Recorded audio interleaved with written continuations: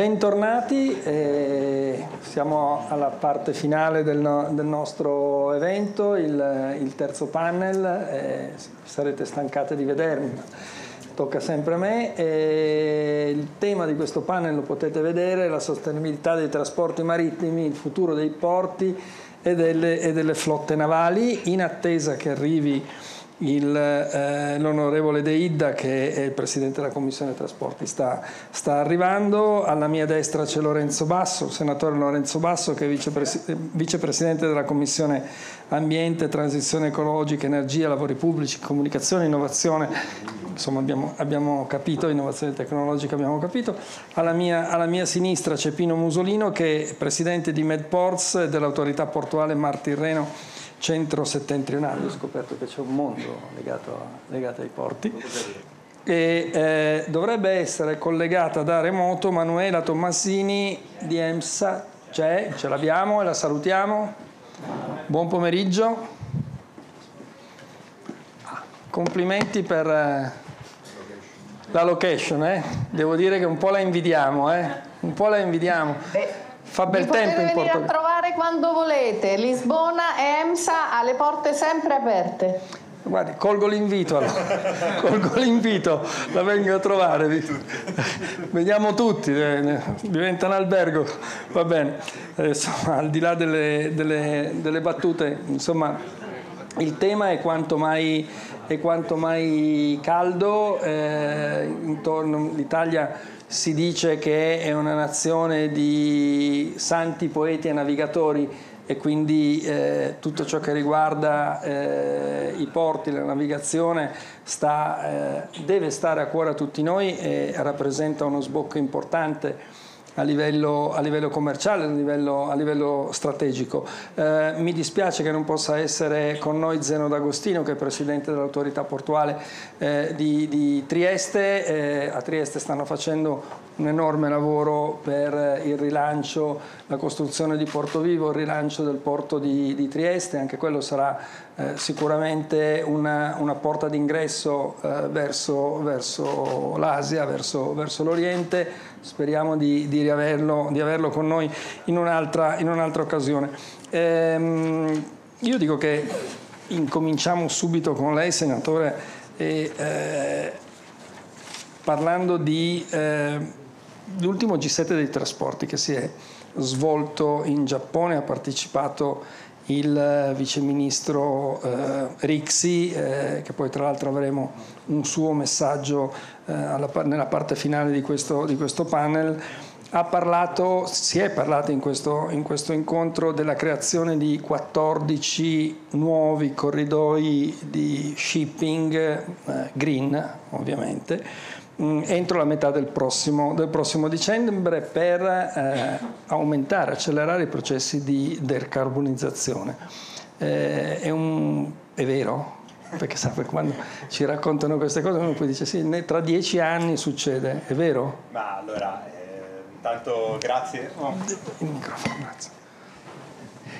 Grazie dell'invito e, e, e complimenti per l'iniziativa, mi hanno raccontato anche di una mattinata in cui molto interessante e mi scuso per eh, non aver potuto partecipare per, eh, per grossi impegni istituzionali e non dubito che siano vere le dichiarazioni del viceministro Rixi, eh, se non altro perché sebbene da parti politiche diverse ci conosciamo da tanti anni, essendo entrambi genovesi e quindi credo che siano dichiarazioni vere quelle che dal G7 sia arrivato un impegno. Se invece mi chiede se è vero che riusciremo a realizzare questo impegno, ovviamente so che ci sono tante problematiche.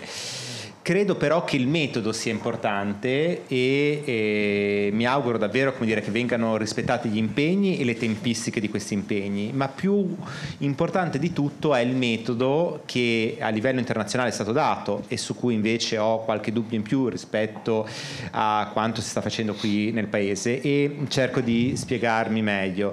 E credo che sia importante dare degli obiettivi ambiziosi eh, dandosi però anche degli step con cui raggiungerli.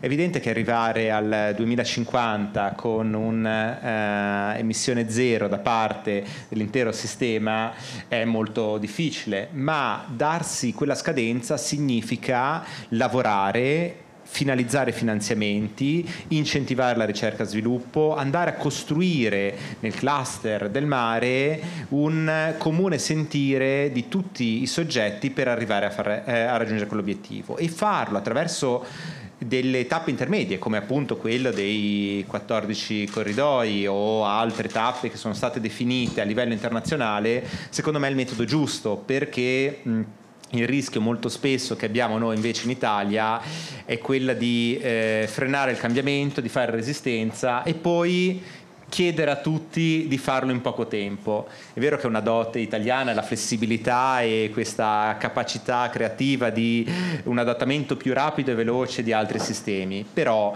in eh, sistemi così complessi come appunto è quello di cui stiamo parlando, che eh, riguarda sicuramente il trasporto marittimo, ma tutta la logistica che eh, insiste per eh, quanto riguarda le merci, è evidente che non si può realizzare dall'oggi al domani e quindi questo è secondo me un buon obiettivo.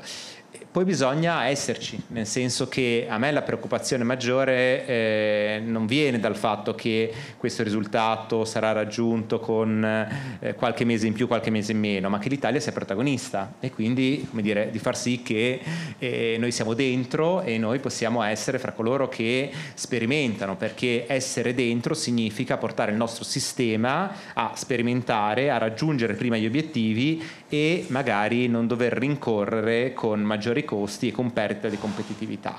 Quindi credo che questo sia il vero nodo.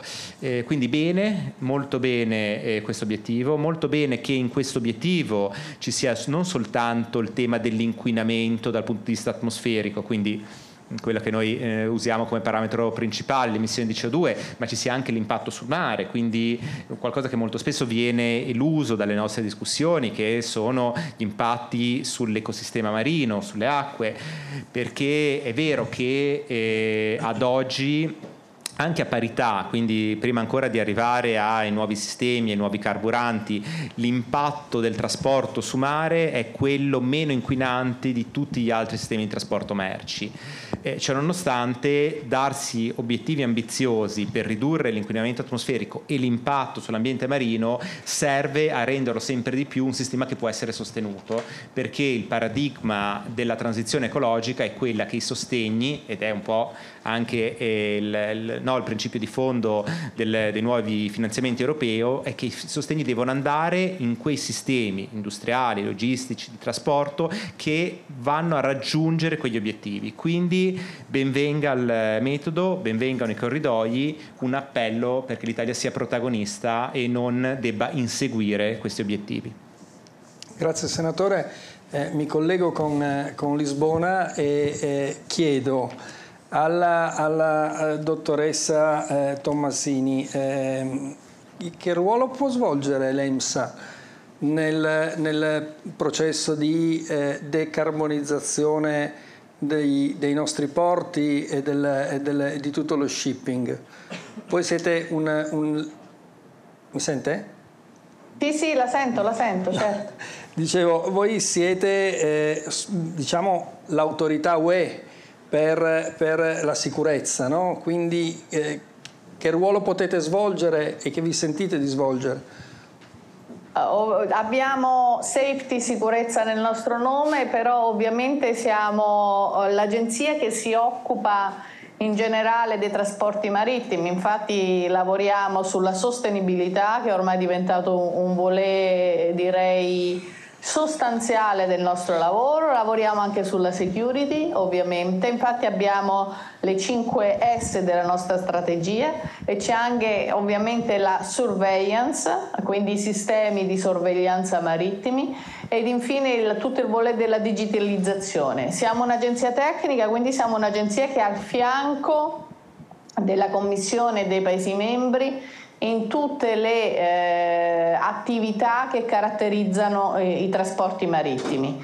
Eh, quindi in questo momento siamo in prima linea su tutta l'implementazione della legislazione che è stata adottata a livello europeo.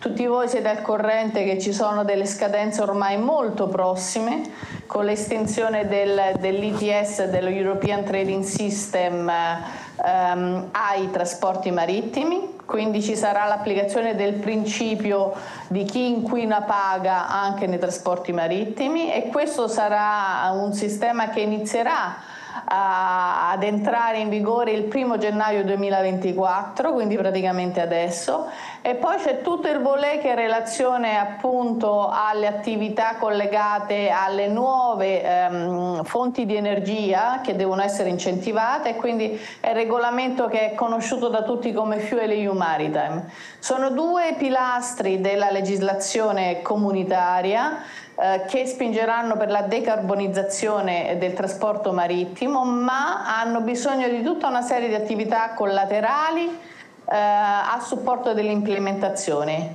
In primis lo sviluppo di un database che dovrà um, essere accessibile anche all'industria, quindi alle compagnie, per il monitoraggio di dati fondamentali, compresi il consumo eh, di energia a bordo. E questi sistemi eh, sono effettivamente in corso di sviluppo qui all'EMSA, quindi siamo stati incaricati proprio di sviluppare questi sistemi. Accanto al volet diciamo, dell'implementazione della legislazione, eh, noi ci poniamo come agenzia tecnica per riempire quei knowledge gaps che ci sono in questo momento. Quindi abbiamo tutta una serie di studi che sono in corso di, eh, alcuni sono già stati eh, presentati, altri saranno presentati nei prossimi mesi. Eh, ci siamo appunto focalizzati sui oh, eh, combustibili che ehm, sono più Uh, direi um, promising uh, per i trasporti marittimi, quindi abbiamo iniziato con uh, i biofuels che sono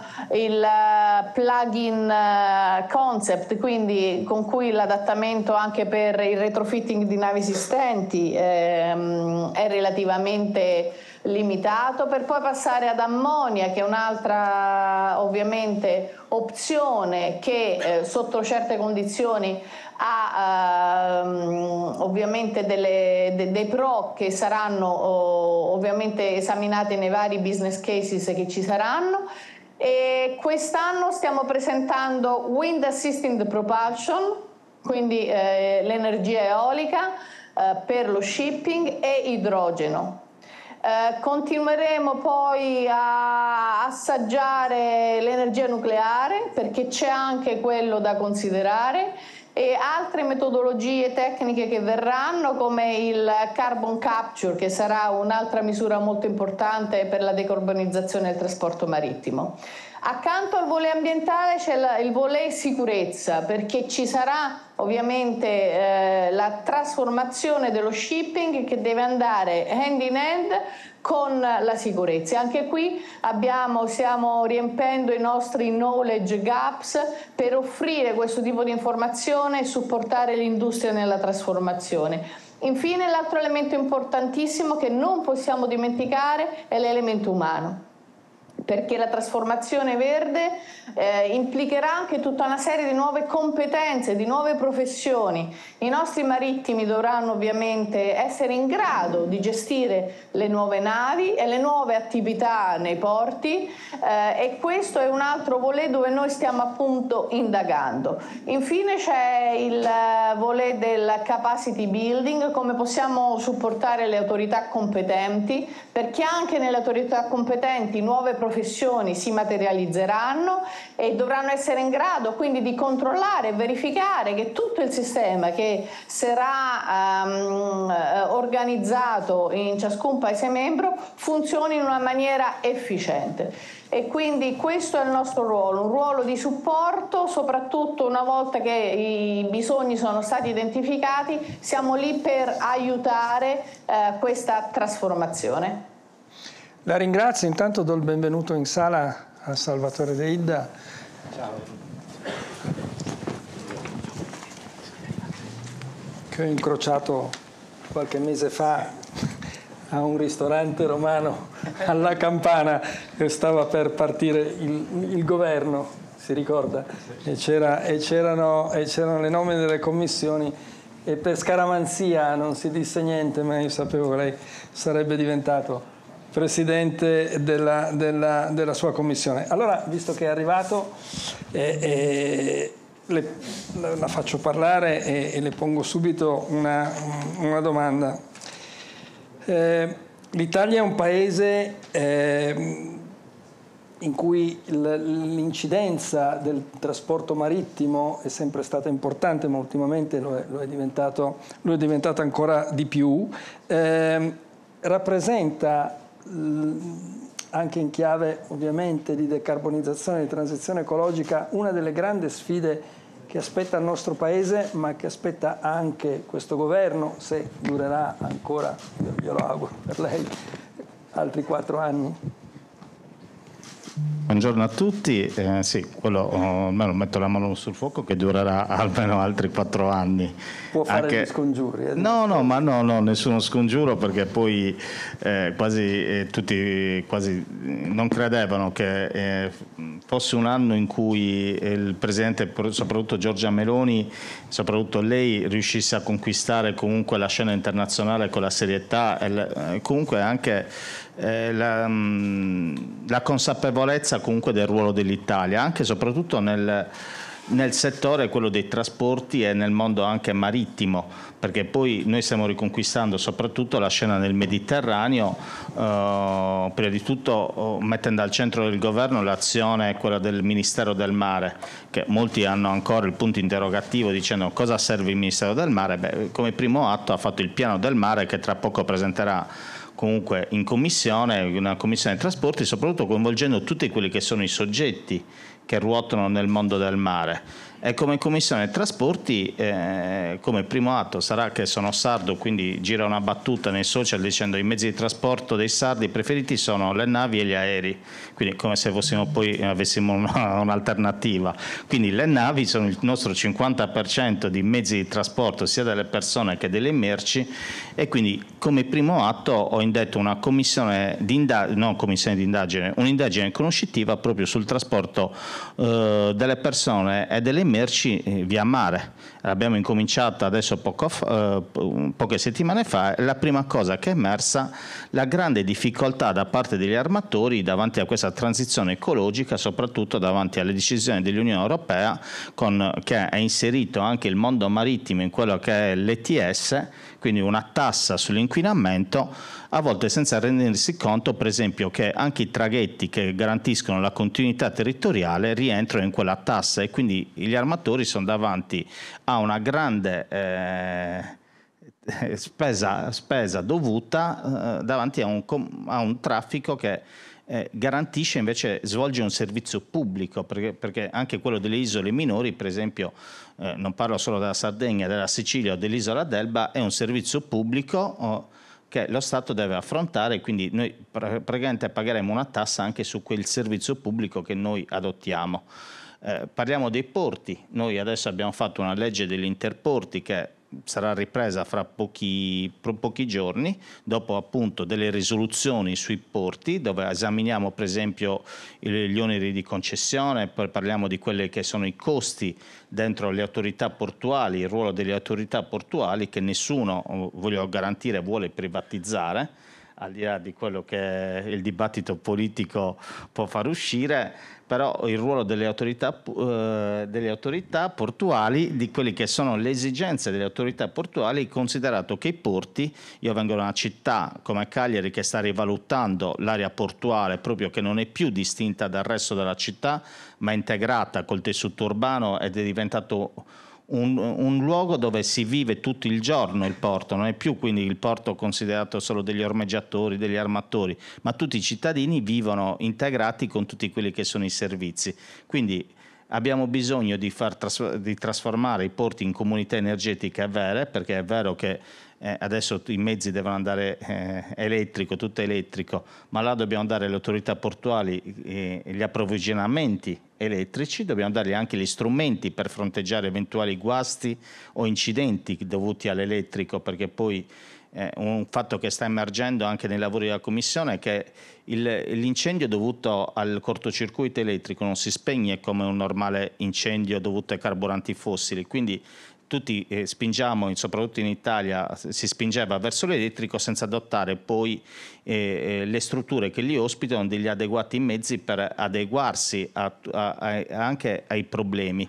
Quindi eh, i porti sono all'oggetto di questo nostro primo anno di commissione Entro l'anno, secondo me, ci sarà la legge delega di riforma dei porti, quindi daremo al governo questa legge delega sulla riforma dei porti, dandogli degli indirizzi ben precisi e cercheremo anche nella legge di bilancio, è molto stretta, il Presidente Giorgia Meloni ha già ammonito tutti noi proprio per avere la prudenza in quello che sono gli investimenti, dare comunque anche alle autorità portuali eh, quel, eh, quelle risorse necessarie se vogliamo mantenere il pubblico. Una, uh, una garanzia anche che semplificheremo uh, quelle che sono le regole proprio di controllo eh, e di indirizzo del mondo portuale. Ecco, quello che è il nostro obiettivo è dargli, smetterla di farci la guerra tra porti e tra autorità portuali, ma dare comunque degli indirizzi nazionali perché nel mentre che noi litighiamo fra regioni o litighiamo fra chi ha il porto canale più bello, il porto merci più bello, ci sono in, nelle coste comunque slave, quelle anche nordafricane, tanti investitori che stanno allargando la, la portualità eh, a discapito nostro. Ecco, noi adesso smettiamola di litigare tra noi e gli daremo una struttura che dia un indirizzo ben preciso, rendendo i porti quella, anche quel eh, centro di intermodalità che deve essere invece costruito. Io con orgoglio posso dire che abbiamo sbloccato finalmente quello che è il collegamento ferroviario dal porto di Napoli a Interporti di Nola e Marcianise. Era un cavillo che veniva bloccato per eh, se, se, scegliere eh, o il o il passo ferroviario o quello stradale, abbiamo deciso col comune, abbiamo fatto riunione il comune, l'autorità portuale e anche RFI proprio per sbloccare questo progetto. Ecco, tutti i porti devono essere collegati con la ferrovia e devono avere comunque un sistema intermodale proprio per rendere più fruibile la città e il porto. Mi sono dilungato, scusi. No, no, no, no, va benissimo così, anche perché ho scoperto che si litiga anche tra i porti e quindi, eh, quindi lei litiga? No, a meno che non sia strettamente necessario, normalmente no. E... no c'è la domanda però. Beh. Detto che lei non litiga, detto che lei non litiga. a meno che non sia strettamente necessario. Poi se è necessaria la pugna, siamo pronti. Ah, beh, benissimo. Porti Civitavecchio, Fiumicino e Gaeta, voi avete sostenuto degli investimenti importanti e sicuramente il governo vi darà una mano, vi elargerà altri altri soldi, altre sovvenzioni, però al di là delle battute eh, la linea è quella di indirizzarsi verso fonti rinnovabili che possano essere meno impattanti sotto il profilo economico, sotto il profilo dell'inquinamento. guardi, poi rispondo alla sua domanda, però mi fa fare un leggero eh, cappello su questo, perché sennò pare che noi, come dire, nei porti si investe in sostenibilità o in misure green perché improvvisamente è diventato di moda, no? oppure perché, come dire, eh, la sensibilità del momento è questa. In questo momento, non, non tanto non solo nei porti, ma in generale, l'investimento verso una transizione di modello di cui la transizione ecologica è solo una parte, è essenziale, non è che eh, abbiamo tante alternative, anche quello che, eh, faccio, vi, vi, do un paio di dati, Munich che è un'importante uh, società che fa assicurazione e riassicurazione, ha calcolato che negli ultimi dieci anni il mondo ha speso 120 miliardi di dollari in assicurazione e riassicurazione per danni causati dal climate change. Per cui anche se sei un, un fanatico inquinatore e ti piace andare a carbone, però non penso tu da imprenditore o da cittadino disdegni avere una, una, paga dentro la tua tasca, oggi non è più pensabile che tu non tenga conto del fatto che bisogna cambiare alcune cose, perché perdi soldi. Non è più solo l'idea dell'ippi, eh, dell'ipser, eh, no, che bisogna fare la, la, misura green, è perché anche se sei paperon dei paperoni e odi l'ambiente, in questo momento non intervenire su questo significa creare diseconomie. Peraltro, voi sapete che alcuni dei, eh, dei goal abbastanza eh, ambiziosi no, sulla decarbonizzazione, eh, eh, tra l'altro ricordatevi, si chiamavano, si chiamavano, si chiamano SDG 2030, no? Li abbiamo pensati come mondo nel 2015. Ci pareva tantissimo un quindicennio davanti. Dei 17 goal e dei 169 sotto goal ne abbiamo presi 10%, 15% e siamo al 2024.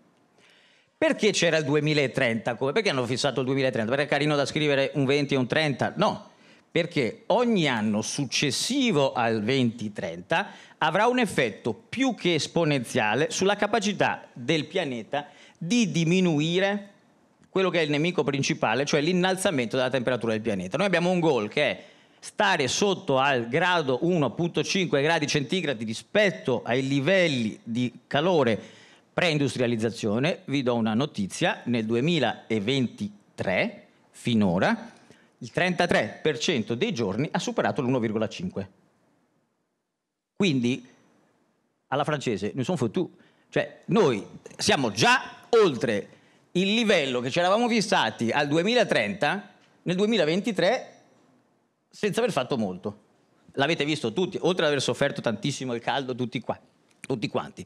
Abbiamo visto eh, inondazioni incredibili, eh, la Libia, il, il, nessuno ne ha parlato l'anno scorso, ma il Pakistan è stato devastato l'anno scorso da, da, da inondazioni incredibili, cioè il pianeta sta cambiando. Chi, chi nega quello, eh, come dire, eh, nega un, un'evidenza scientifica che ormai è di tutti, poi possiamo capire quanto abbiamo eh, avuto un impatto o meno, però è necessario per tornare alla sua domanda, ecco perché nel mio campo, visto che ho l'opportunità, l'onore e il piacere di essere presente in un'autorità portuale, posso fare delle cose, investo e ho cercato di investire pesantemente nei limiti del possibile su questo campo, non perché io ami le margheritine o quant'altro, ma perché è l'unico modo che abbiamo per interpretare un modello di crescita differente. Diceva prima, se posso, la, la, la dottoressa Tomasini, di, le, le, la carbonizzazione, l'ammoniaca, poi se volete ci arriviamo. Però c'è un, una misura che potrebbe essere fatta, come dire, a costo zero, perché è una misura legislativa, è che si imponi uno slow steaming, cioè si imponi velocità più basse di collegamento, già bassi dal 10 al 15 al 20% il livello di emissioni. Non serve investire, non serve cambiare, non serve eh, eh, eh modificare le navi. Chiaro, rallenta alcuni processi, modifica alcuni aspetti di quella che è stata una, una eh, eh, globalizzazione molto rapida che abbiamo visto negli anni dal 90 fino a recentemente. Probabilmente potrebbe avere un impatto in termini di, di costi o in termini di disponibilità eh, di alcune tipologie di merce, ma già ci permette di cambiare a livello di emissioni. Se la priorità è abbassare il gradiente di emissioni inquinanti, noi abbiamo una serie di misure che non sono la scoperta della pietra filosofale, ma cambiare il, modello, il, il modello di business che oggi diamo per assodato, ma non è scritto sulle tavole della legge. Non è scritto lì. E quindi ci sono delle misure che non sono nemmeno scientifiche, sono semplicemente, ma siamo sicuri che come le abbiamo fatte fino ad oggi funziona? Faccio un altro esempio che, che avevo implementato quando facevo il presidente a Venezia. Una parte consistente dei, dell'inquinamento nei porti dato dal trasporto su terra è perché i camion arrivano tutti a un orario, stanno più o meno in coda e aspettano di caricare le merci nel terminal. Con un semplice software e con una semplice georeferenziazione puoi dire più o meno a slot non venire alle 15.30 camion numero 7 perché alle 15.30 ci sarà il camion numero 6 prenditi pure una pausa, vieni dopo e fai una programmazione, che poi è quello che stanno facendo alcuni porti avanzati con il concetto del just in time di arrivo della nave, perché mutatis mutandis si può applicare sulla nave. Anche in questo caso non è un investimento su milioni di euro di cold irony piuttosto che è un cambio di mentalità. Aveva molto ragione la dottoressa Tomasini quando dice dobbiamo investire nelle persone, perché se noi continuiamo a utilizzare persone che hanno gli occhiali del 1950 è molto difficile che vedano il 2050 come prospettiva. Ecco perché noi facciamo questo tipo di investimenti, investiamo sulla formazione, abbiamo un ITS dove stiamo cercando di investire per creare i talenti logistici del futuro, abbiamo una collaborazione con le scuole europee perché poi i porti ogni tanto litigano, ma poi col porto di Barcellona, col porto di Marsiglia abbiamo una fortissima collaborazione perché alla fine condividiamo i problemi e abbiamo un ottimo scambio di buone pratiche. Cioè, noi dobbiamo, diceva la, la, la ruba Barack Obama, lui diceva di se stesso che era un, un pragmatic dreamer. Ecco, noi dobbiamo fare questo nell'ambito della sostenibilità, dobbiamo avere una visione, essere sognatori, ma essere molto pragmatici, perché appunto il 2023 è oggi, i cambiamenti climatici sono oggi, quindi a costo di dover rendere conto alla Corte dei Conti fra cinque anni che mi ha chiesto perché ha investito su una ricerca sull'ammoniaca, perché ha investito su un elettrolizzatore, io gli rispondo perché ritenevo in quel momento che fosse necessario e giusto che lo Stato aiutasse a creare un percorso di ricerca anche a tentoni, se volete, no, chiaro che non li buttiamo fuori dalla finestra, perché in questo momento non c'è, è terra incognita, non, non, non c'è una, una, certezza e abbiamo il dovere di sperimentare. E prima o poi, fra decina d'anni, forse prima, troveremo le due o tre soluzioni che effettivamente potranno essere eh, quelle del futuro. Il ruolo di quella strana ente pubblico che citava il Presidente, che è l'autorità di sistema portuale, è questo. Noi non, non ci rivolgiamo alla totalità degli stakeholder, noi non siamo i comuni o o le regioni che parlano a tutti i cittadini. Noi abbiamo dei, degli stakeholder particolari che sono gli imprenditori e i lavoratori. E qui dobbiamo da un lato funzionare da arbitro e controllore pubblico, ma dall'altro incentivare la, la, libera intrapresa e creare le condizioni per fare questo tipo di cambiamento. Per farlo, lo, lo, scrivevo qualche giorno fa, la sostenibilità si pratica, non si enuncia, perché non ce l'abbiamo più il tempo per, per enunciarla e basta. Grazie, io mi devo ricollegare se c'è ancora, perché poi so che deve andare via, con la dottoressa Tommasini e le faccio questa domanda che ne avevo un'altra in testa, ma mm, parlando eh, mi è venuta in mente. Ehm, con tutti gli sforzi che voi state facendo come EMSA, come Europa, come UE, eh, lei pensa che anche eh, le, grandi, le altre grandi nazioni, gli altri grandi continenti siano indirizzati in questa direzione? La Cina, l'India stanno facendo i nostri stessi sforzi? Perché noi comunque come Europa, lei sa, siamo al 7-8-7-9% della produzione di gas serra mondiale. Siamo poco, gli altri inquinano molto più di noi. Uh, le, le, posso dire che ehm, molto è cambiato da, da questo luglio perché eh, voi sapete che c'è l'organizzazione, l'International Maritime Organization. Io mi scuso perché c'è, c'è, sono abituata a lavorare in inglese, quindi mo, molte cose no, non mi vengono naturalmente in italiano, quindi mi dovete perdonare se uso uh, parole che, che, che sono uh, più inglesi a volte. Um, questo luglio hanno adottato nel contesto dell'Organizzazione Marittima Internazionale una nuova strategia per la riduzione delle emissioni ehm, dallo shipping ed è stata adottata all'unanimità. Quindi è una strategia che eh, si allinea all'obiettivo del 2050 che l'Unione Europea porta avanti ormai da tanto tempo, ma non perché è l'Unione Europea, ma perché sono gli impegni che, che sono stati assunti da, da tutti e, ehm, questa strategia ora deve essere tradotta in misure concrete con un orizzonte temporale eh, molto prossimo. Quindi al 2027 ci saranno delle azioni concrete che dovranno essere adottate e condivise già stanno lavorando con dei gruppi di lavoro e l'Organizzazione Marittima Internazionale, come dice la stessa parola, ha tutti i players, compresi l'India e compresi la Cina. Ero due giorni fa a Cipro per Maritime Cyprus e lì c'era il ministro dei trasporti indiano. L'India è molto, vede eh, comunque eh, in, nella rivoluzione verde un'opportunità Molti di questi paesi saranno suppliers di, di, di energie rinnovabili, quindi c'è una, comunque un forte movimento e sono molto contenta di sentire comunque che anche sul fronte italiano c'è una chiara indicazione che è tempo per azione, basta parole, perché comunque l'opportunità deve essere colta ora, eh, non, non, non, possiamo stare ad aspettare di avere tutte le risposte, perché se aspettiamo di avere tutte le risposte arriveremo troppo tardi. Bisogna assumere dei rischi, perché ci sono dei rischi da assumere, ma ehm, questo potrebbe veramente essere un'opportunità per il sistema paese.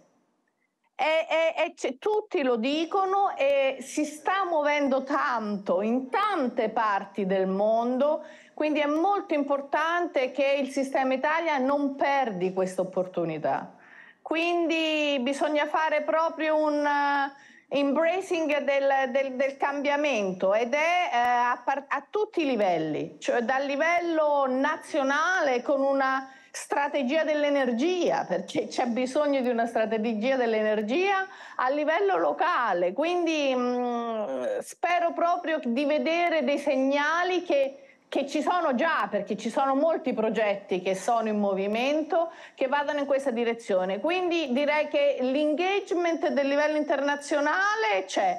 Non è una corsa, non è che bisogna arrivare prima degli altri, perché al traguardo finale tutti devono arrivare, però l'importante è che ci sia veramente engagement e commitment e il segnale che vediamo è che i grandi players sullo scenario internazionale non sono assolutamente insensibili a questo, al contrario. Io la ringrazio, se vuole restare ancora con noi è un piacere, se invece deve, deve liberarci, grazie, sarà per la, la, prossima volta. La ringrazio. Grazie a Mi voi. saluti Lisbona. A eh. presto, a presto, arrivederci. Arrivederci. Torniamo a noi a Roma, che non è poi male, eh. Lisbona sta bene, ma Roma non è poi male. E, ehm, senatore, quanto è importante la digitalizzazione nei processi di carbonizzazione anche per quanto riguarda la parte del trasporto marittimo, della portualità? Credo sia eh, molto importante e sia importante, mm, fra l'altro il Presidente Musolino prima ha fatto anche un esempio appunto concreto di quanto possa eh, accelerare dei processi in maniera più veloce rispetto anche a dei processi che hanno bisogno di tempistiche, penso per esempio alle nuovi carburanti, a tecnologie che avranno comunque necessità di tempi di implementazione più lunghi e invece tutti i processi di digitalizzazione sono processi che possono portare a risultati concreti in tempi molto più rapidi. Fra l'altro, nonostante diamo un giudizio diverso con il collega sul eh, governo, eh, però mh, io dire, mi sento di sostenere che ci sia un'attenzione molto forte alle politiche del mare. Poi, ripeto, io, lui dà un giudizio più positivo, io vedo un po' di eh, visioni frastagliate e di diversi eh, scenari fatti da ministeri differenti, però ammetto questo, c'è un'attenzione sul mare e la Commissione appunto alla Camera ha, raccontato al Presidente, noi al Senato come eh, Commissione Trasporti e Ambiente abbiamo eh, proprio avviato e questa settimana ci sono state le prime audizioni, un'indagine conoscitiva sugli impatti della tecnologia su tutto il sistema dei porti, della logistica, proprio per dire, andare a capire qual è lo stato di implementazione nel nostro sistema logistico e dei trasporti e qual è quello che invece può essere ancora realizzato. E, e, e credo che su questo ci sia una grande sottovalutazione, ma non del governo, una grande sottovalutazione di tutto il sistema perché eh, oggi potremo andare a eh, ottimizzare dei processi riducendo l'impatto non solo in termini di emissioni di CO2 ma un impatto ambientale in termini anche più forti di riduzione dei costi andando a ottimizzare per esempio penso che il presidente Mussolini facesse riferimento a questo, andando al, alla creazione di digital twin che possono ottimizzare questi processi, andando a rallentare non magari tutte le navi o tutti i eh, tir che si avvicinano al porto, ma quelli che appunto dovranno poi incontrare la nave successivamente piuttosto che non quelle navi che non riusciranno comunque a sbarcare eh, direttamente. Questo sarebbe un risparmio per la nave in movimento, sarebbe un risparmio per non ingolfare eh, magari quel terminal e anche per l'uscita o l'entrata dal terminal in termini di emissioni. Quindi un sistema di eh, appunto simulazione in tempo reale come è un digital twin complesso perché deve mettere insieme tanti attori, quindi non, non, lo banalizzo, però obiettivamente stiamo parlando di tecnologie digitali, lo dico da imprenditore che lavora in questo campo, eh, non mature, di più che quindi sono già a disposizione, permetterebbe un'ottimizzazione dei processi, una riduzione delle emissioni con tempi di risposta che sono non di decenni, forse neanche di anni, ma di mesi, nel senso che la realizzazione di un digital twin di un terminal si può realizzare in pochi mesi, di un sistema più complesso intermodale in eh, poco più di un anno. E io appunto ricordavo prima, vengo da una realtà come quella genovese in cui dopo la grande tragedia del crollo del ponte Morandi ci sono stati eh, molti problemi ancora oggi persistono, quindi è una realtà complessa, chiunque l'abbia attraversata lo sa, sia per il traffico privato e ancora di più per quello merci. Ecco, visto grandi investimenti, e guardate che quindi sto parlando di più governi, non è un, assolutamente un riferimento all'attuale perché viene da distante, grandi investimenti in infrastrutture fisiche con prospettive a decennali pochi investimenti su tecnologie che permettessero questa ottimizzazione dei flussi, andando anche a dare un risultato concreto e andando anche a fare una cosa che secondo me è fondamentale e forse non abbiamo ancora toccato, che è quello di dimostrare anche all'opinione pubblica, al grande pubblico, che la mh, eh, riduzione dell'impatto eh, ambientale dei trasporti marittimi, la riduzione dell'impatto che hanno le navi che si fermano in porto, eh, può produrre anche un sostegno maggiore appunto a queste politiche di transizione ecologica di cui noi abbiamo bisogno. Perché se è vero quello che dicevo prima, ovvero che già oggi il trasporto via mare è il sistema che ha il minore impatto ambientale rispetto a tutti gli altri sistemi di trasporto, è anche vero che oggi eh, molti cittadini vivono che cosa? Vivono il fumo della nave in porto, vivono soltanto l'ultimo miglio, però vivendo quello hanno dire, una resistenza anche allo sviluppo, al sostegno finanziario di questo tipo di trasporto. Quindi riuscire ad affrontare, ad aggredire quel, l'ultimo miglio, quell'impatto che arriva e lo si fa sicuramente col cold ironing, con molte eh, delle politiche implementate, ma soprattutto con un processo di digitalizzazione che permesse, permetta di ottimizzare i processi e ridurre il sovrapporsi appunto eh, di eh, trasporti e quindi di attesa e di inquinamento, è quello che potrebbe oggi dare la risposta più veloce.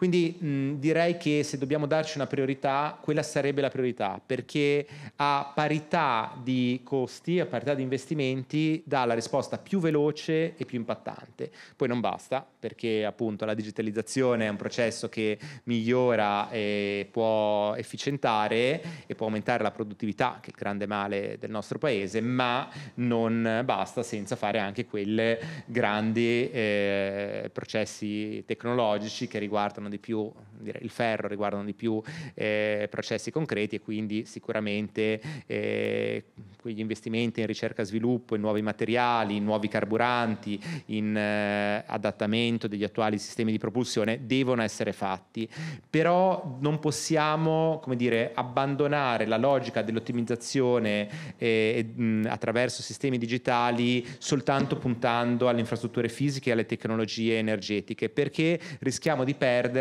quel boost che oggi può essere fornito e che credo darebbe anche una sensazione, un simbolo di come come sia importante investire in questo settore. Grazie. Presidente Musolino, a proposito di navi che, mm. che inquinano con le ciminiere e il fumo, mm. Civitavecchia sta investendo molto sull'idrogeno, diventate un hydrogen harbor? Sì, noi siamo orgogliosamente la prima Hydrogen Valley portuale italiana, abbiamo vinto un progetto europeo già nel 2021 assieme alla regione eh, eh, Abruzzo e assieme all'Umbria.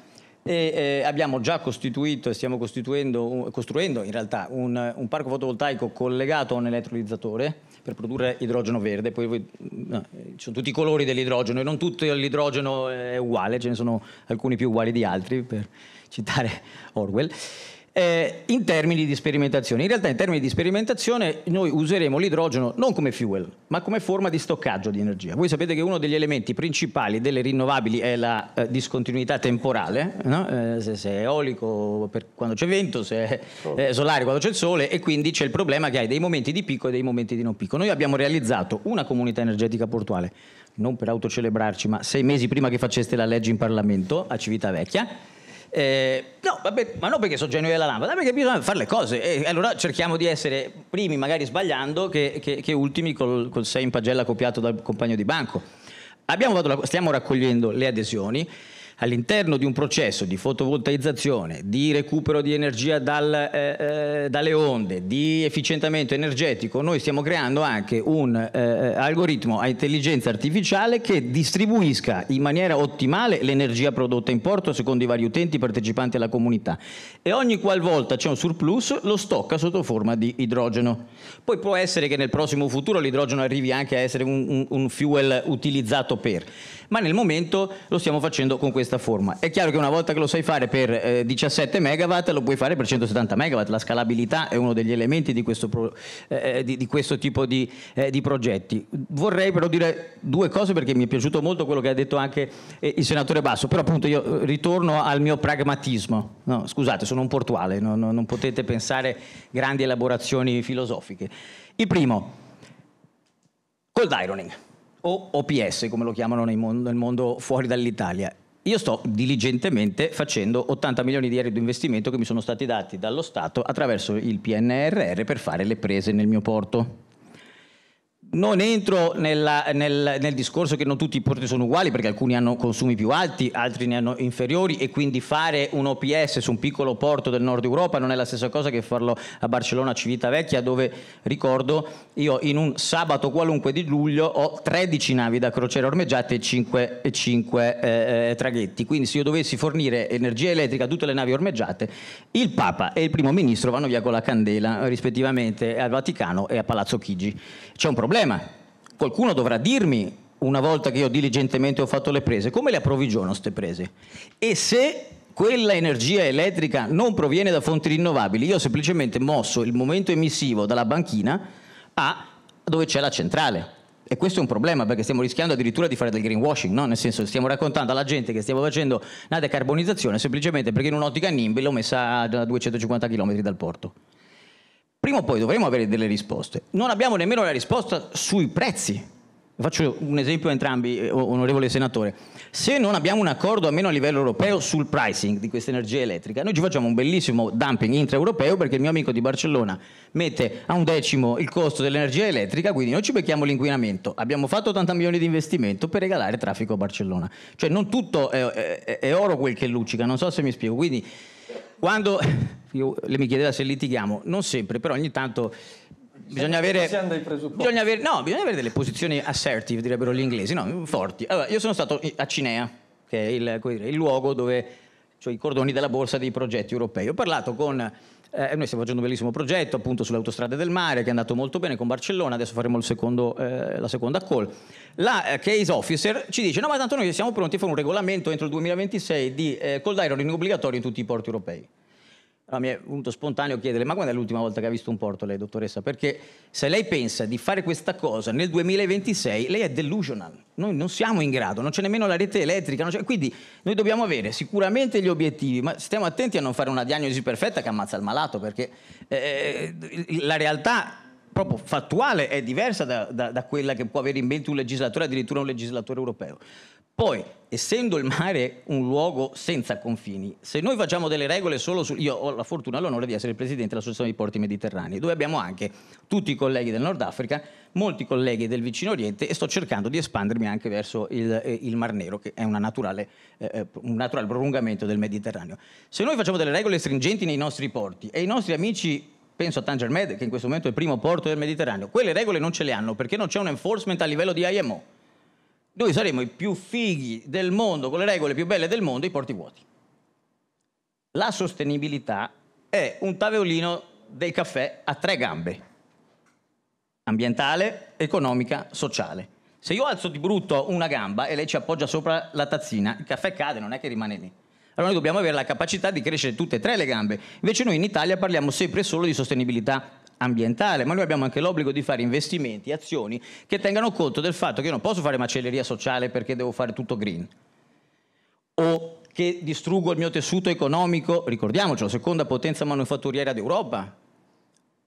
Prima potenza sullo short sea shipping, anche questo diciamo poco, però i, i, i principali armatori italiani del mondiali del cabotaggio sono italiani tra i migliori produttori di navi. No, quando si è fatta, io purtroppo ho vissuto sulla mia pelle la terribile stagione da presidente del Porto di Venezia dei luoghi comuni che hanno ucciso un mercato, non lo dice mai nessuno, che valeva 500 milioni di fatturato all'anno e 5.000 posti di lavoro reali, non rimpiazzati. Ok? Su Venezia si è fatto un lavoro di luoghi comuni, di non pensare realmente alle cose che si potevano fare, di voler parlare solo di sostenibilità ambientale in una città, mi sono un po' accalorato perché è la mia città natale, che ha perso due terzi degli abitanti dal 1961. E a me sinceramente è vero che mi, mi deve preoccupare l'ambiente, ma mi deve preoccupare anche le persone, perché l'ultima volta che io avevo controllato le persone creano le pietre che fanno i palazzi, non, non viceversa. C'è una città svuotata di abitanti che ha il porto super ambientalmente eh, compatibile, ma non c'è un posto di lavoro. Ancora una, ho svolto la mia funzione come autorità portuale? Forse no.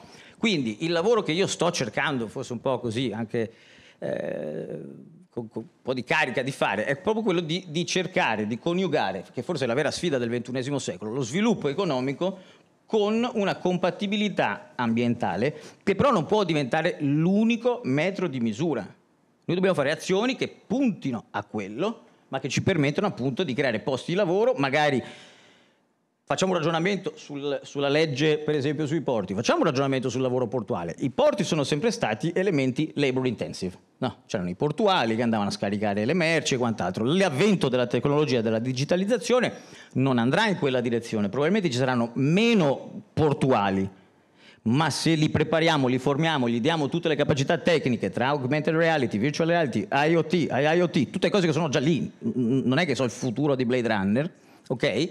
Sono già lì, noi avremo 10 portuali che assomiglieranno di più a un tecnico della NASA piuttosto che a uno scaricatore degli anni 50, invece di essere pagati 800 euro all'ora a 3.000 euro all'ora. Per cui, però dobbiamo averli questi cambiamenti in testa, perché se noi pensiamo di continuare a fare il porto degli anni 50 col camallo che scarica, sottopagato, non facendo la parte sulla digitalizzazione, non creando nuovi posti di lavoro, non investendo in questo, prima o poi ci facciamo male. Poi due sane provocazioni. Io non, non la sposo, strasposo l'idea della digitalizzazione, ma noi stiamo ancora parlando di fare il PCS, senatore. Noi, oggi alle 5 c'è una riunione, credo la 172esima, da quando sono presidente, nella quale stiamo ancora parlando se facciamo il PCS. Spiegazione, PCS, Port Community System, la digitalizzazione di una serie di processi che oggi sono cartacei, ce n'erano 131 distribuiti in 23 autorità, adesso li stiamo digitalizzando. Ma noi stiamo ancora parlando di questo, che se lo raccontiamo in giro per il mondo ci ridono in faccia, perché gli altri porti, Rotterdam, no, fuori dall'Europa, sono alla 4.0, cioè alla sesta versione. Noi stiamo ancora discutendo se lo facciamo. Capisce? E, e, tra l'altro lo Stato nel corso di sette anni ha speso 100 milioni di euro per non farlo. Io un giorno chiesi allo sviluppatore, mi fai vedere un beta di, di sto PCS? Mi detto non c'è, scusa, non sono abituato a parlare eh, di, di, di, materie iperuraniche. Cioè noi dobbiamo sicuramente avere la visione, il legislatore deve fare questo lavoro di innovazione, però dobbiamo anche essere molto attaccati a, a terra, perché altrimenti eh, eh appunto abbiamo delle teorie meravigliose, delle norme meravigliose, boom, e, e, su, sulla linea del fronte, perché io sono semplicemente un fante, eh, sulla linea del fronte abbiamo delle difficoltà enormi abbiamo dei gap enormi. Il, il, il, vantaggio che ci può dare questo grande riequalizzatore, no? la, la, la, trasformazione ecologica, che quindi ci può permettere di avvicinarci a porti che magari sulle infrastrutture fisiche sono partiti prima di noi, è però se perdiamo questo treno, perdiamo un treno che non riprendiamo almeno per una ventina d'anni. E da, appunto da umile manovale vi dico o vi chiedo questo, dateci anche degli strumenti efficaci ed effettivi che ci permettono di agire con tempi che non sono quelli, eh, quelli biblici. Altrimenti, ottime le idee, ottime le capacità, ottime le possibilità, potenziale importantissimo. Il ragazzo si impegna ma non si applica.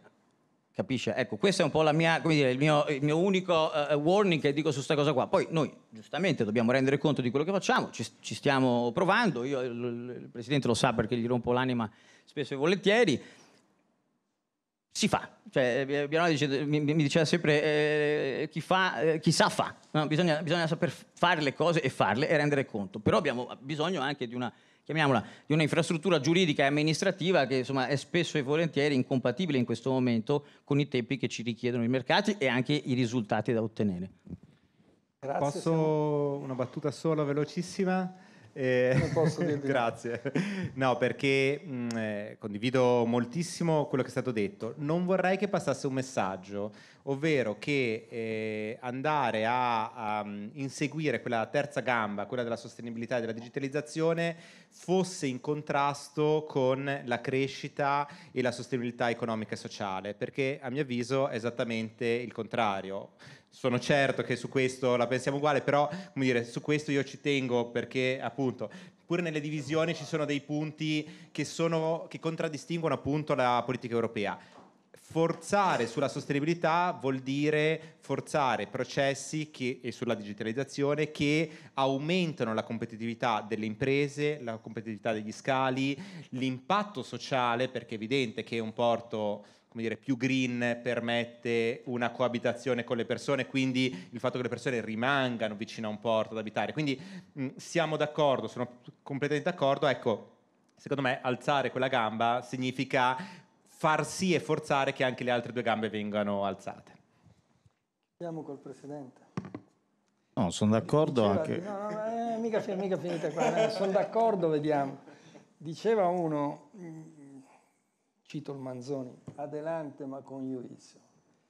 Quindi la transizione ecologica deve essere fatta ma con giudizio, lui aggiungeva si puede. Si può fare, ma beh, eh, quanto ha detto anche il Presidente Musolino, eh, noi siamo davanti, eh, noi abbiamo fatto un bando come Ministero, anche c'era, non era questo esecutivo ma l'altro, mettendo dei fondi, 500 milioni, per il rinnovo della flotta sono stati poi utilizzati solo 120 milioni, ma perché poi gli armatori, eh, per esempio, vanno in Cina, qualche armatore va in Cina a costruire le navi, nonostante noi siamo i migliori, però ci sono dei costi in Italia e in Europa che ovviamente altri paesi non è vero che stanno perseguendo lo stesso obiettivo, perché la Cina, eh, che si vanta di questo essere il primato delle rinnovabili, però intanto ha, ha, ha attivato non, non, so quante nuove miniere a carbone e sta producendo a tutto il ritmo, fregandosene un po' di quella che è la transizione economica. Ecco, quello che noi chiediamo, che ovviamente l'Europa prenda atto che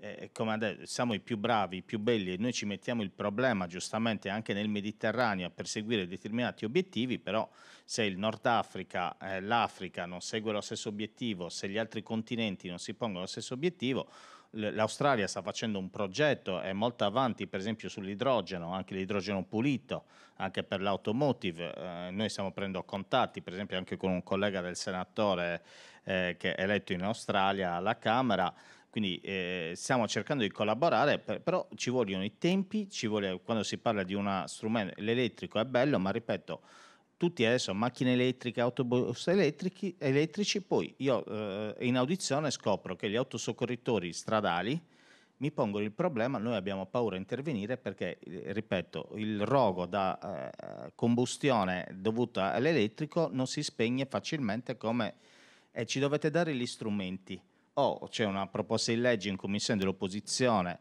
che parla, eh, sostituiamo tutti i mezzi dei porti e degli aeroporti con, ma- con macchine, automezzi elettrici, sì, e però hanno il triplo, quadruplo del costo, quindi chiedono tutti, anche i soggetti privati, allo Stato, dateci gli incentivi. Quindi è un costo per la comunità. Quindi eh, tutto può essere fatto, ma eh, non possiamo farlo a discapito di settori o comunque senza tener conto del costo sociale che si ha nella società. Questo lo stiamo facendo, rispondo io, noi collaboriamo bene con l'opposizione questa legislatura perché durerà, perché c'è ben chiaro chi è maggioranza e chi è opposizione, c'è chi loro, il presidente Musolino mi ha accolto nella sua autorità portuale quando sono uscito, è uscito il titolo del giornale, l'autorità chiede al governo 45 milioni. Eh, cioè, il governo mi ha ringraziato per questa visita e mi ha detto non azzardarti più andare a Civitavecchia che torniamo col conto di 90 milioni cioè, ecco non ci vado più esatto. sì, no.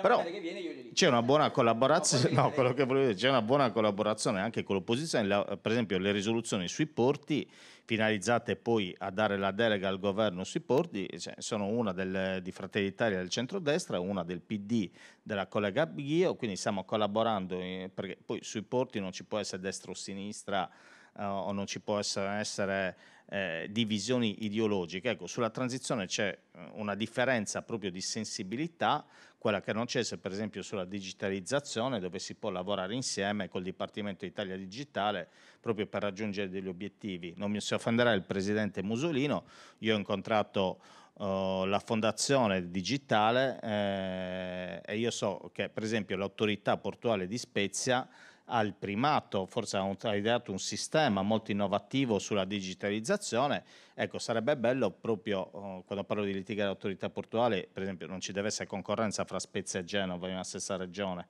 ma tutti e due hanno la loro importanza anche se so in commissione in politica quanto Genova stiene al primato, però tutti hanno la loro importanza. Però stavamo pensando anche in Liguria di fare un incontro proprio sulla digitalizzazione e parlare del primato, comunque di chi ha portato avanti progetti innovativi non mancheremo di invitarla perché so quanto è sensibile il Presidente dell'autorità, eh, però parlare proprio delle esperienze positive che ci sono nel mondo portuale. Spezia ha dato un sistema che è sicuramente innovativo e che possiamo portare avanti. Grazie, c'è un ultimo brevissimo passaggio ed è eh, un video che chiedo di trasmettere perché, eh, aspetta solo un attimo a farlo, a farlo partire, non è questo il video immagino. penso che non sia questo il video, era il secondo video, vediamo eh, perché è un video che è stato realizzato eh, da Gea, da due colleghi, uno Carlo Fumagalli e Mirko Nuzzolo, insomma lavorano con le università, stanno facendo un bellissimo progetto, questa era una piccola anticipazione, penso che non sia questo, però facciamolo partire, vediamo, intanto io vi, vi spiego, non, tanto non parte, quindi il problema non si pone. Eh, sì, invece è questo. E quella è, eh, quello è uno scambiatore di calore eh, che deve andare in Cina. E è dovuto passare attraverso la nave, la gomma e ci ha messo, ed è proprio è scomparso, e, e ci ha messo un sacco di tempo per arrivare, quindi c'è anche un problema proprio infrastrutturale che riguarda, che riguarda l'Italia, però sono tematiche che affronteremo, che affronteremo, più avanti. Mi piace chiudere questa lunga giornata di, di dibattiti molto interessanti con eh, il messaggio che ci ha mandato il Vice Ministro Rixi che oggi è impegnato a Genova, non ha potuto essere con noi. Eh, il Ministro Rixi, è, oltre che essere Vice Ministro dei Trasporti, è un tecnico e ha particolarmente a cuore il, il sistema portuale, ha partecipato di recente al G7 eh, in Giappone, è eh, una persona autorevolissima. Io prego di mandare questo, questo video.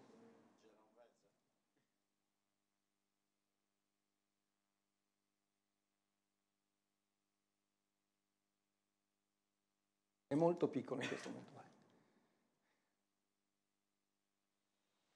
Buona giornata a tutti, sono a portare i saluti del Ministero delle Infrastrutture e Trasporti a questa assemblea. In questi mesi stiamo vivendo momenti di difficoltà, visto i rapporti Possiamo molto difficili anche con i vicini francesi sulla crisi che è avvenuta.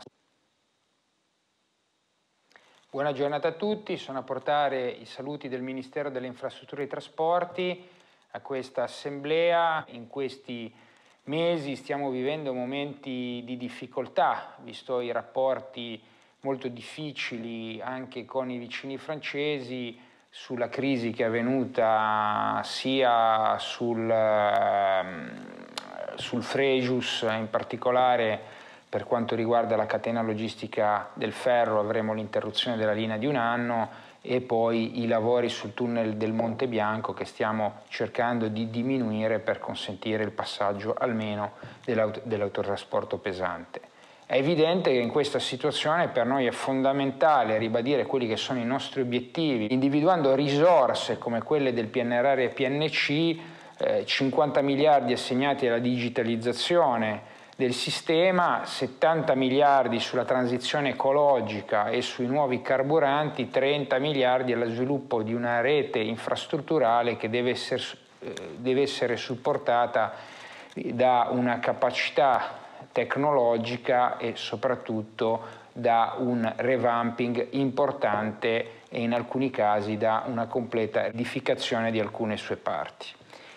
Noi abbiamo un paese eh, che basa sulla sua capacità logistica la sua forza industriale, siamo la seconda potenza manifatturiera d'Europa, abbiamo bisogno di un libero accesso nei mercati del centro Europa che rimangono eh, per noi punto di riferimento, ma anche abbiamo la necessità di un accesso al mercato mondiale tramite il nostro sistema e la nostra rete portuale. Quindi per noi l'interconnessione infrastrutturale è fondamentale, sempre di più la digitalizzazione dei processi, la possibilità di utilizzare l'intelligenza artificiale anche nella gestione dei flussi delle merci e delle persone ci consentirà di rendere più efficiente il sistema in tempi relativamente brevi mentre investimenti infrastrutturali, il completamento dei corridoi europei previsto eh, con il PNR nel 2026 ci consentirà una visione di medio-lungo periodo di crescita del Paese, di fluidificazione del sistema logistico. È fondamentale eh, sostenere anche l'innovazione tecnologica nel settore dei carburanti e della mobilità. Per tanto tempo è stata definita l'unica mobilità eh, su cui ci sarebbe eh, spostato il nostro paese è quella elettrica. Oggi noi sappiamo che quello, che noi dobbiamo, quello a cui noi dobbiamo tendere è un'invarianza tecnologica con una riduzione delle emissioni e possibilmente un accorciamento delle filiere produttive anche in ambito energetico per consentire al nostro Paese di gestire una delle variabili che in un Paese sviluppato è cruciale, ossia il costo dell'energia la capacità di produrci energia sul territorio nazionale, di poterla distribuire e veicolare e di essere meno dipendenti rispetto alle forniture estere ci consente di eliminare una seconda variabile che è quella dei mercati mondiali e soprattutto della geopolitica, che negli ultimi anni ha cambiato completamente i paradigmi della nostra economia che si basava su fonti fossili, prevalentemente gas naturale, acquistato a basso prezzo che garantiva l'approvvigionamento energetico del Paese. La crisi ucraina e ancora prima il tema del Covid hanno fatto cambiare completamente l'impostazione logistica e una profonda ristrutturazione. Oggi l'Italia è un hub sul Mediterraneo, sarà sempre di più anche un hub energetico, ma anche la possibilità con investimenti e con nuove tecnologie di produrre filiere industriali sul proprio territorio anche in campo energetico. Per questo il governo è molto intenzionato a rilanciare aziende come Ansaldo Energia e come il settore nucleare, soprattutto di nuova generazione, ma anche guardare eh, sulla capacità di nuove innovazioni sul tema dell'idrogeno, dell'idroelettrico e dei biocarburanti, oltre che ovviamente del solare e eh, dell'eolico. Stiamo diciamo, cercando di influenzare e di revisionare una direttiva europea rispetto all'ETS che penalizza particolarmente i porti del nostro paese riguardanti alle emissioni, in particolare il porto di Giulia Tauro, ma non solo, eh, discapito a porti che producono più emissioni ma si trovano in territorio extraeuropeo come Portside e Tangeri, ma è evidente che dobbiamo riuscire a eh, fare innovazione tecnologica puntando anche alla capacità di trasmettere in rete l'energia, anche quella elettrica, visto che saremo di fronte anche a un cambiamento epocale sulle reti di distribuzione, sempre più si va verso le smart grid, e soprattutto si dovranno ridefinire le grandi dorsali, si dovrà aumentare la capacità di trasporto di energia e quindi anche puntare sui superconduttori e puntare sul fatto che i nostri porti dovranno essere accessibili anche a navi che gestiscono nuove tipologie di carburanti. Oggi il mercato non è ancora delineato, non sappiamo quali saranno i eh, carburanti che domineranno nel futuro, questo è il momento della ricerca, delle scelte e soprattutto degli investimenti. In questo momento il nostro Paese è aperto all'innovazione tecnologica come non mai e speriamo che con giovani start-up e soprattutto con la capacità di generare un futuro migliore del presente si possa tutti assieme contribuire alla realizzazione di una nuova Italia che sia in grado di soddisfare una domanda logistica crescente ma non a discapito dell'ambiente o del territorio. Per questo abbiamo bisogno di nuove idee, abbiamo bisogno di finanziare nuovi progetti e auguro fortuna, buon vento e soprattutto una disponibilità da parte del governo di interloquire per far sinergia tra pubblico e privato.